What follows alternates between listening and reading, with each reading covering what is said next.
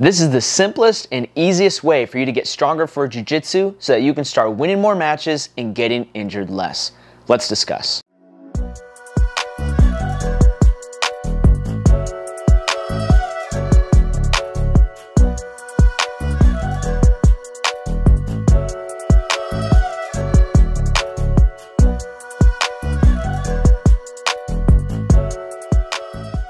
What's going on guys? My name is Josh Settlage. I am the BJJ Strength Coach and I'm here to talk to you guys today about the simplest and easiest way that you can start getting stronger for Jiu-Jitsu so that you can win more matches and get injured less. Everybody wants to win more matches and for sure everybody wants to not be getting injured. So that's what this video is gonna be about today. But before we get into it, I wanted to share with you guys, I have a free four week strength program that I wanna send you. It's gonna be great for you Jiu-Jitsu athletes that are kind of at a point where you recognize and understand that I need to be doing something. I need to get stronger, but I don't know where to start. I don't know what exercises to do. I don't know where to begin. I answer all of those questions for you in this free four week program. If you're interested in that, just click the link below. I'd love to send that to you guys and help you out. Before I give you guys the simplest and easiest method to get strong for jujitsu, we need to lay a foundation of understanding real quick. It's important that you guys know that nobody, no one ever lost a jujitsu match because they were too strong. And no one ever, ever got injured because they were too strong. I've been in the grappling game for nearly a decade. I've been in the strength and conditioning game for over a decade. And every single match from wrestling or jiu-jitsu that I've coached or watched or competed in, I have never seen anybody get injured because they were too strong. The thing is, being weak increases your risk of injury. When it comes to your muscles, your tendons, your ligaments, all the connective tissue that holds your body together, if those things aren't durable, if those things aren't strong, you are severely likely to get injured. Now, it's one thing to talk about like decreasing risk of injury in a sport like sprinting or in a sport like basketball, but we're talking about jujitsu here where the entire purpose of the sport is to grab someone's arm and try to break it in half, to grab someone's leg and twist it apart so you blow out every ligament in their knee, or to grab a hold of their neck and squeeze it so tightly that you shut off all the oxygen and blood flow to their brain. That's the goal of the sport. So being able to put ourselves in a position where we are tougher, more resilient, and more physically durable is gonna help us so much in the long run be more successful on the mat. I know what you're probably gonna say, but coach, what about technique? All you need is technique, bro. Don't be a freaking technique, bro. Let me tell you this. Everyone knows that technique is so vastly important for jujitsu. And I'm not bashing technique and I'm not saying that you shouldn't work on technique. You do need technique. People who have better technique usually perform better on the mat. But guess what? At a certain level, everyone's gonna have better technique. And we know what's responsible for contributing the most to proper technique? Practice and your muscles. Your muscles are literally what moves your body into positions so you can have proper technique. Now, the stronger those muscles are, the more resilient and durable all the connective tissue is, the more you're gonna be able to effectively apply those techniques in competition and in training. So now that we got the technique part out of the way, let's go ahead and discuss. Again, don't be a technique bro.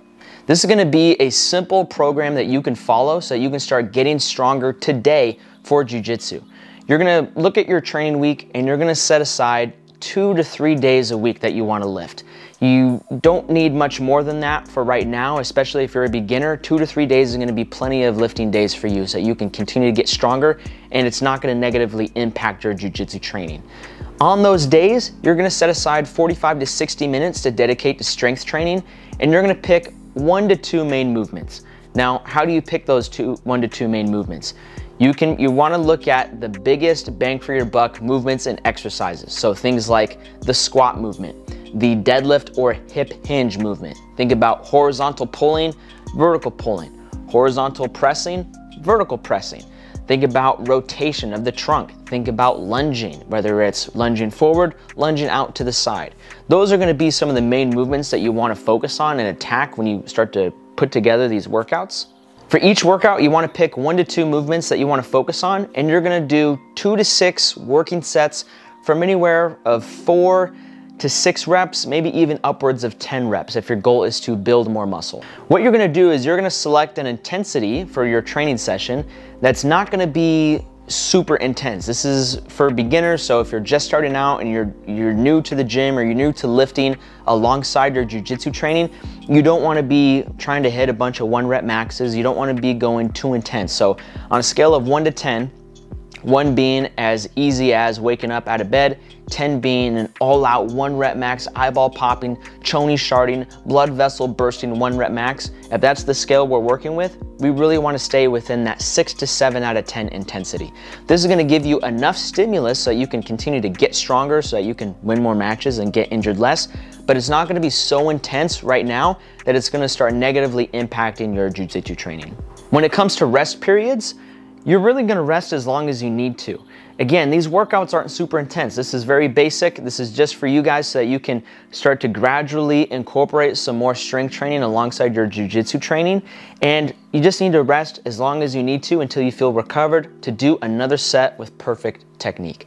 Now, if you're still having a hard time thinking of, okay, what exercises should I plug in here?